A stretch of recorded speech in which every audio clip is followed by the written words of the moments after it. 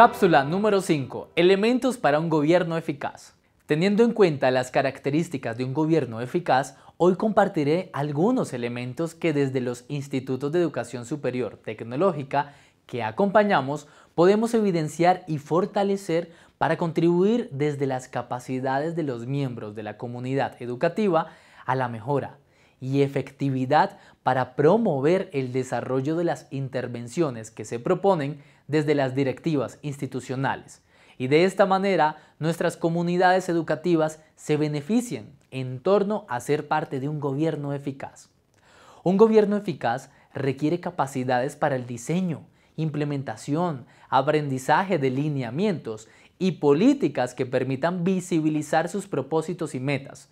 Algunos elementos que permiten dar este paso son, primero, calidad, la cual depende de líderes directivos a partir de la promoción de las normas y procedimientos que guían, incentivan o limitan las acciones propuestas de las metas institucionales desde las diferentes gestiones. Para mejorar la calidad es importante tener sistemas de incentivos que permitan atraer a los mejores funcionarios promoviendo su esfuerzo y crecimiento profesional. Segundo, recursos.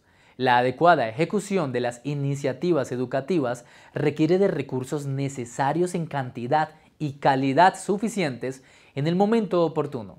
Para que los recursos lleguen a quienes lo necesitan, se recomienda establecer un sistema de monitoreo y control. Propiciar una mayor competencia entre proveedores y fortalecer la transparencia en la gestión de las compras. Tercero, participación. Este proceso permite promover un mejor desempeño en el gobierno eficaz. Desde los IEST se incrementa este aspecto para aumentar la cantidad y la calidad de información que proveen los diferentes miembros de la comunidad educativa de manera efectiva.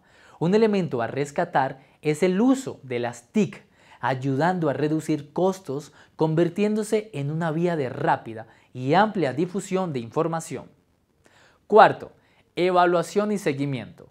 Los procesos institucionales, al tener un seguimiento y evaluación, generan conocimiento y aprendizaje que logran aumentar la efectividad, aumentando los beneficios esperados y favoreciendo la toma de decisiones.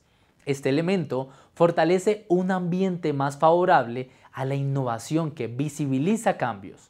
Estos son algunos elementos clave que desde nuestro rol como líderes educativos se pueden potenciar en beneficio de los participantes de los programas ofertados, incrementando la calidad educativa y evidenciando un gobierno eficaz en nuestros IEST.